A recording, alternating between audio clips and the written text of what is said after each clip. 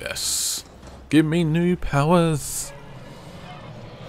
Man, I love this. All the upgrades. I love these sort of, these sort of episodes where you just upgrade after upgrade. New powers.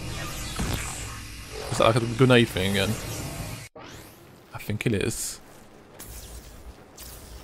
It's the same face every time. Dude, you okay? Yeah, yeah, you still need help? Don't need it, but I'll take it. oh, oh I was trapped him. That trapped him?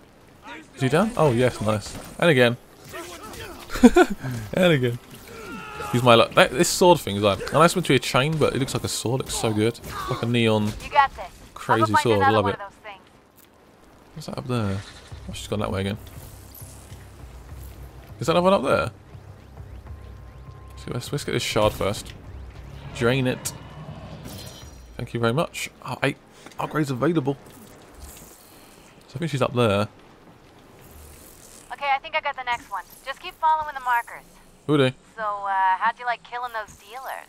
It's a fuzzy jolt, ain't it? You know, maybe we should tone it down with the dealers. You going soft on me, D? Hey, we have powers they don't. Means we have to be the better people, you know? Cut them a little slack now and then. Just think about it. Yeah, yeah, whatever. Just go get yourself some more powers. I wonder if there's like a limit to the amount of powers we can actually have though. 'Cause you must like run out of human resources and just like have like no space for these powers. When does it become too much? And where the hell is the next? These neon things are quite hard to follow. Just because